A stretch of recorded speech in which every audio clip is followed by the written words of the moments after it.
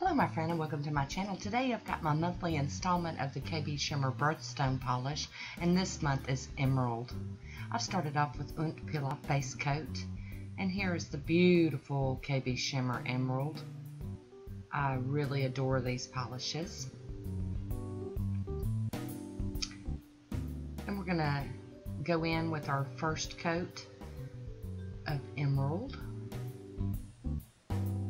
it is just so gorgeous but I have I have a deep deep love for all of the polishes from this KB Shimmer Birthstone collection. I use one every month.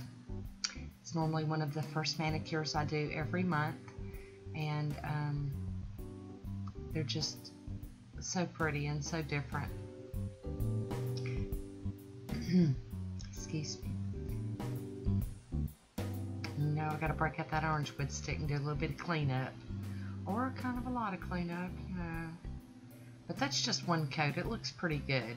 But I am going to go in with the second coat because I kind of have a habit of doing that whether it needs it or not.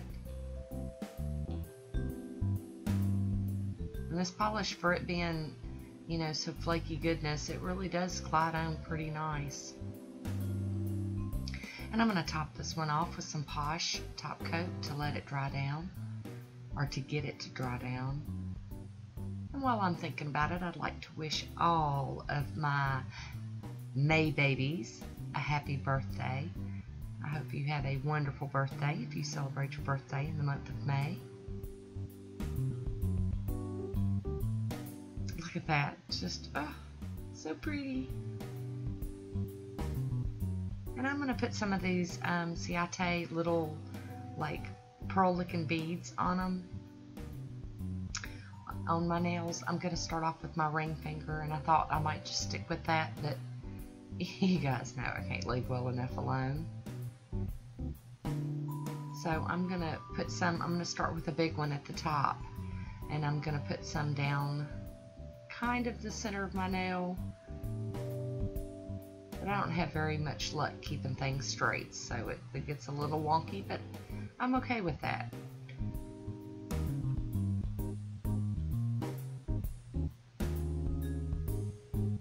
And of course that little dripping dipping's not working, so we're just going to put a swipe of it down. Just using that Posh Top Coat as my glue. And I'm using the littler beads down the nail and they're kind of snaky, squirrely looking, but that's okay. I'm I, I don't expect perfection when I'm trying to do something like this down the center of my nail, but I'm not going to let it stop me from doing it. Practice makes perfect, right? And I'm going to put one in the center of each of my other nails.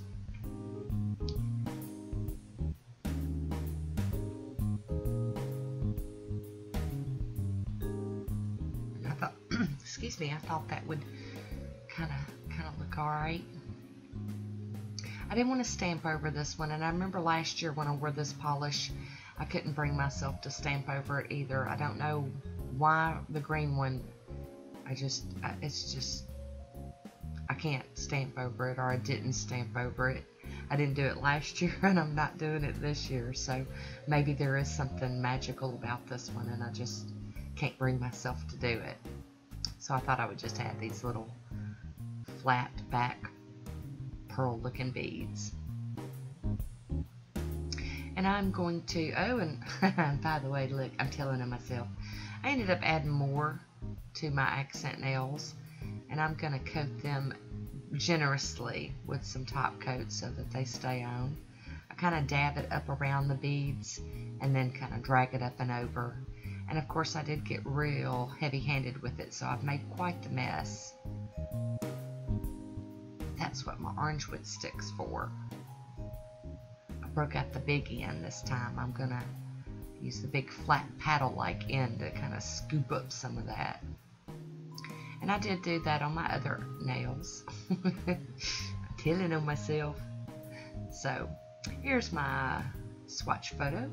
I hope you enjoyed this one. Leave me a comment down below. And that is all I have for today. Thanks for watching, and until next time, be good to yourself. Talk to you soon. Bye.